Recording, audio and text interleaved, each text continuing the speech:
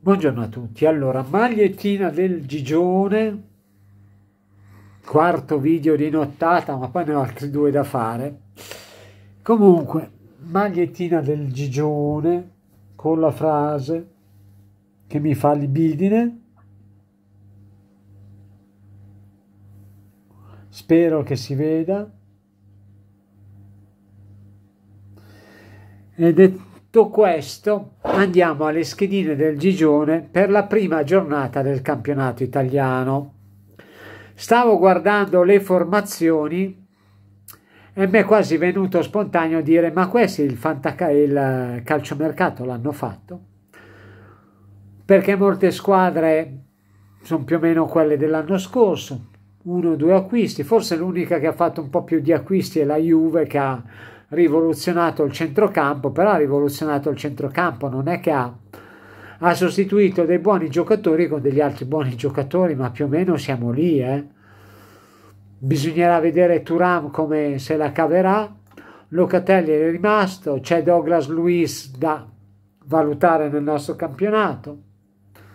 Chiesa non gioca più, c'è il buon Gildiz promosso in prima squadra. Boh ma stavo guardando anche le altre squadre, non è che ci sono sti enormi, c'è il Milan, c'è Morata, prima aveva Giroud, adesso c'è Morata, più o meno faranno gli stessi gol, forse ne, faranno, ne ha fatti molti di più Giroud e poi lo rimpiangeranno, vedremo. Morata il nostro campionato lo conosce, quindi però siamo lì, eh? la differenza sarà uno o due gol in più, uno o due gol in meno. Ma partiamo, ragazzi miei, partiamo con la sfida tra Genoa e Inter. La quota mi obbliga a dire 2. La quota 1,50 del 2 mi obbliga a dire 2, ma io temo molto questa partita. Non dico che l'Inter perde, ma il rischio pareggio c'è. Però anche perché giocheremo sin dal primo minuto. Io francamente Turam e Lautaro li avrei lasciati in panchina. Partivo con la coppia Taremi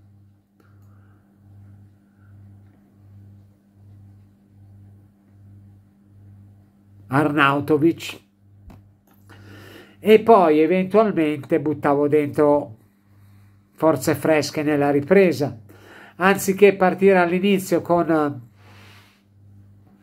le due punte principali che non sono al 100%, ma magari buttandole dentro l'ultima mezz'ora con l'altra squadra stanca che anche sì, il Genoa sto vedendo è un po' come si può dire con i giocatori contati, soprattutto in difesa, io partivo al contrario, partivo con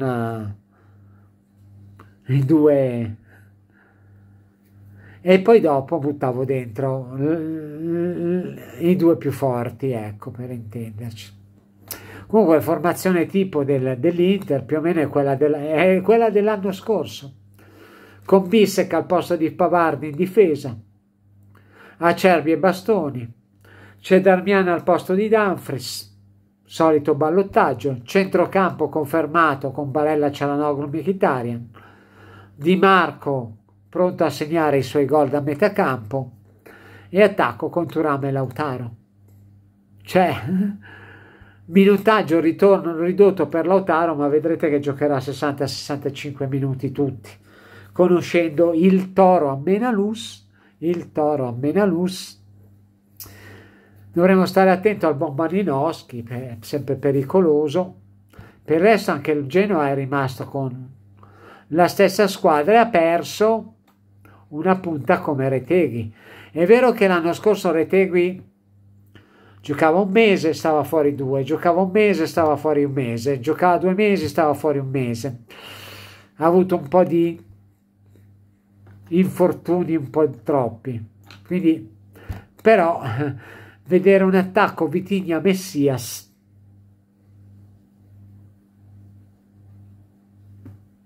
non dico nulla meglio shh, non diciamo nulla ho parlato già troppo.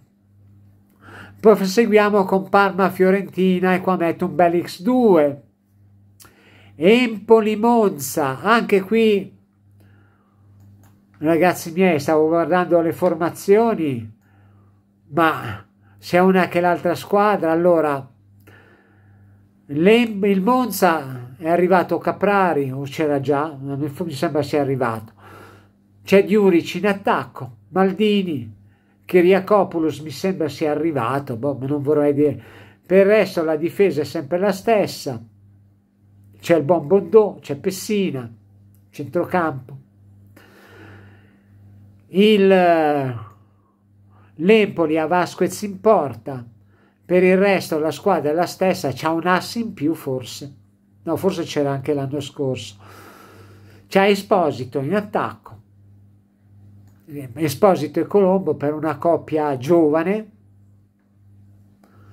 in attacco, puntano sui giovani, sui giovani e buon Fazzini. Vedremo, vedremo. Empoli Monza è bella equilibrata, bella tosta, bella divertente. Mi arrischio un isfisso. Penso che possa andare bene anche a tutte e due, come prima giornata di campionato. Mi arrischio l'isfisso ma è una partita da tripla questa. Milan-Torino, vedremo il buon Morata con Leao come si troverà. Il Torino ha un Adams in più, uno Zapata, c'è Lazzaro, c'è Ilic. Mi sembra che sia il Torino dell'anno scorso, più o meno. C'è un Coco in più, Voivoda c'era anche l'anno scorso, c'è un Masina forse in più c'è Bellanova, Ricci, Linetti, Ilic, Lazzaro, c'è un Adams in più e uno Zapata che c'era anche l'anno scorso. C'è un Adams che gioca al posto del, del buon Sanabria. Quindi Milan favorito, sulla carta dovrebbe essere un 1, però anche qui vale lo stesso discorso che facevo per Genoa Inter. Tra l'altro l'Inter è più favorito, più favorita di vincere rispetto al Milan Tor- con il Genoa che non il Milan con il Torino, il che è tutto dire. Però credo che i cuginastri queste di Riffo di Raffa la porteranno a casa, quindi dico uno. Se non dovesse succedere, vabbè, già iniziamo bene. Veniamo a Bologna-Udinese. Anche qui Bologna che ha perso qualche giocatorino, stavo vedendo. Gioca con Cambiaghi, Castro e Fabian. Orsolini c'è sempre. In difesa hanno Erlich, Miranda, Posch c'è sempre, Freuler c'è sempre, Moro promosso titolarissimo. Mentre invece per quanto riguarda l'Udinese mi sembra che sia la formazione dell'anno scorso con un Brenner in più. Ecco, forse c'è Brenner in più. Toven, Luca, Pagero, Camarà, Lovric, Ezibue, Giannetti, Bijol, Neuen Perez. È la squadra dello scorso anno con forse Brenner in più. Quindi, in ogni caso, Voglio dare fiducia al Bologna e dico 1, anche se non sarà una partita semplice. Verona-Napoli, X2. Non mi sento di mettere il 2 fisso al Napoli. Verona è sempre stata una trasferta in cui o stravincevano o rischiavano anche di, di perdere, quindi X2. Cagliari-Roma is 2, non mi arrischio il 2 fisso, ci potrebbe stare ma non me lo arrischio. Lazio-Venezia credo 1 perché non penso che la Lazio si lasci sfuggire la vittoria con, in casa contro una neopromossa. Lecce-Atalanta X2 e Juventus-Como, mi spiace per il Como, ma temo che la Juve un 2-0 tranquillo. Non se lo lascerà sfuggire. E vedremo anche questo Douglas Luiz cosa combinerà. E company anche sono curioso di vedere il fratello di Turam come si troverà nel nostro campionato. Centrocampo completamente rivoluzionato, c'è solo Locatelli che è rimasto, poi per il resto tutti nuovi, nuovi tra virgolette perché UEA c'era anche l'anno scorso, e in attacco Gildic Vlaovic. Vedremo. Ragazzoli, niente, andiamo a fare la schedina alternativa. Allora, Genoa-Inter, temo gol. 1 a 2, 1 a 1, 1 a 2, un punteggio così. Temo che il gollettino da Pollastri lo prenderemo sicuramente. Parma, Fiorentina, over 2,5. Vedo una partita bella, divertente scoppiettante. Empoli-Monza, gol. Milan-Torino, ecco, Milan-Torino, eh, non vorrei che mi finisce 1-0 o 2-0, quindi l'over 2,5 è un po' rischioso. Il gol è altrettanto rischioso, però forse, forse gol, gol perché magari Zappatone la mette. Gollettino, eh. Poi Bologna-Udinese, over 2,5 a 2,25 rischiamola va. Verona Napoli over 2,5 Cagliari Roma over 2,5 Lazio Venezia over 2,5 ragazzi miei. Non penso che la Lazio si lasci sfuggire l'occasione di partire subito bene in casa davanti ai propri tifosi contro una neopromossa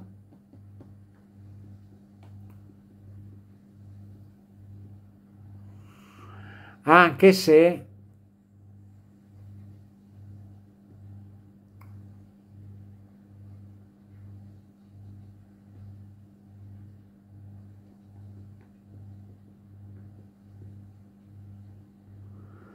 gioca. Beh Noslin Zaccagni e Castellanos non è male però volevo vedere una, una cosina. Perché ve l'ho detto non sto seguendo il calcio mercato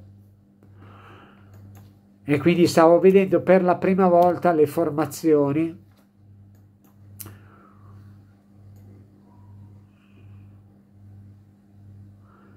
e il buon Ciro Immobile non c'è più, è andato al Besiktas.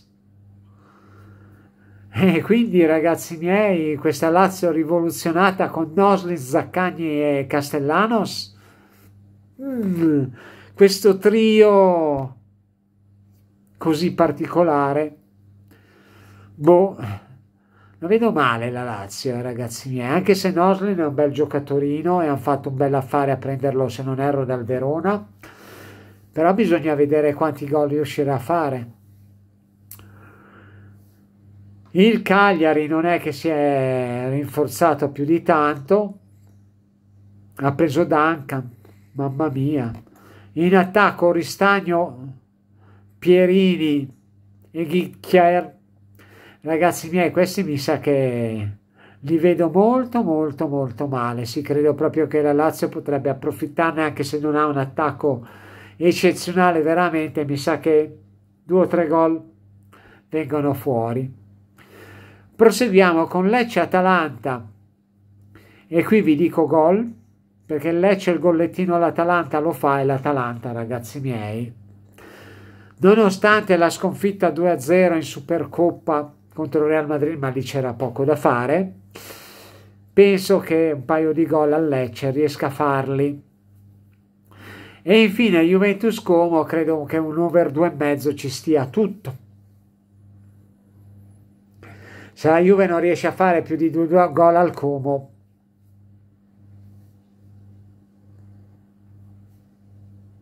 non so a chi li possa fare. E forse, forse, forse al Venezia.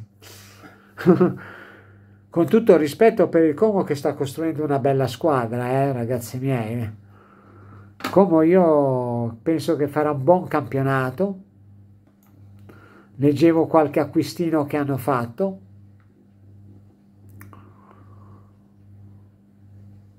E andiamo a vedere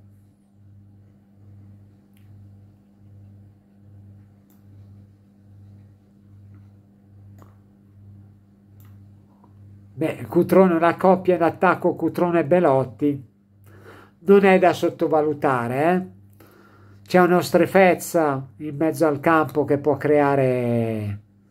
C'è il buon Bazzitelli. Eh, eh, non è...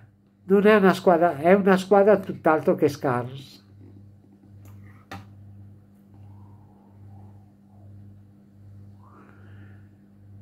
E, e poi sono tornati, è tornato Cerri dall'Empoli, quindi c'è Gabrielloni e Cerri Pontentare, c'è il Bonverdi. E non è male, non è male, non è male per niente. Vedremo, vedremo, certo contro la Juve credo non. Non ci dovrebbe essere gara teoricamente, però nel calcio tutto può accadere. Ragazzoli, vi ho detto la mia, è la prima giornata, quindi può succedere veramente di tutto. Io vi saluto, vi ringrazio, vedremo come andrà. Se sbaglio, se qualcuno poi nei commenti del lunedì mi scrive Gigi le sbagliate tutte, capra, eccetera, mi prendo della capra e vabbè, eh, che ci devo fare se sbaglio? come dico sempre, ho la pelata, non ho la sfera magica. Avessi la sfera magica non ne sbaglierei neanche uno, ma ho solo la pelata e quindi non li posso sapere i risultati a priori.